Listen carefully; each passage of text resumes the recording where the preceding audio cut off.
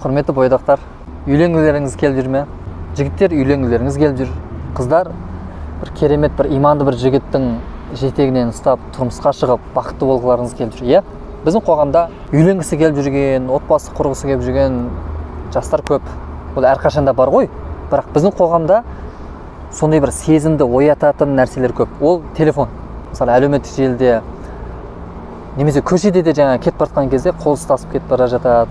Әлеуметтік желіде де жаңағы неше түрлі видеолар бар ғой жаңағы гүл беріп жатқан неше түрлі жерде қыдырып жатқан жаңағы сол нәрселер мына ә, үйленгісі келіп жүрген қиналып жүрген бойдақтардың сезімін одан ары күшейтіп кәдімгі қиналады. Сөйтеді де қателікке ұрынады бұл жақсы нәрсе емес. Бұл сіз бенен біздің өзімізге шынайы сұрақ қойдық па? Сұрақ қойған жоқпыз ба? Яғни үйленуге тұрмыс құруға дайынмын ба дайын емеспін ба деген сияқты. Көпшілігі сол қызығады да. Жұртты қарашы ана күшті қыдырып жүр қол ұстасып кетіп бара жатыр деген сияқты. Немесе жаңағы ә, махаббатқа қатысты бір кинолар бар ғой. Немесе соған қатысты кітаптар бар. Соларды оқып алады да одан ары күшейтіп жібереді сезім. Ол жалған сезім. Сөйтеді де қателік ұрынады ол махаббаттың құрбаны болуға апаратын жолдар. Махаббаттың құрбаны болуға дегеніміз шынайы махаббат емес некеге дейін және некеден кейін деген бар ғой. Мысалы отбасы құрғанға дейінгі нәрселер олар алдамшы нәрселер болып есептелінеді да. Жылы сөздер сыйлықтар қыдыру деген сияқты. Жақсы қарым қатынас ол шынайылық емес. Жігіт те қыз да тұрмысқа шыққанға дейін барынша жаңағы екі жүзділік дейміз ба? Яғни біреу актер болады біреу актриса болады ғой. Кәдімгі күшті бүйтіп әдепті болып тамақ ішкен кезде де отырған кезде бүйтіп әдепті болып деген сияқты. Үйленгеннен кейін бұрынғы жылы сөздері бұрынғы қарым қатынастары жоқ болып кетеді. Неге? Өйткені олар өзін өткізу керек болған ғой. Жігіт те қыз да бір біріне жақсы көргіздірту үшін ә, кемшілігін көрсетпес үшін барынша жасырады. Бірақ біз барынша шынайы болуымыз керек еді. Шыны сен қалайсың? Кемшілігің мынандай мынандай мынандай деп айту керек еді да.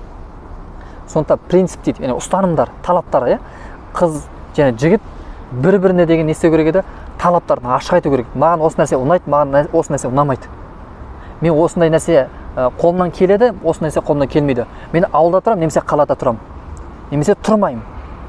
Менің ата анам осындай деген сияқты. Екеуі ашық айту керек еді ал ұнатпайтындай нәрселер туындап жатқан кезде қоя салу керек еді да.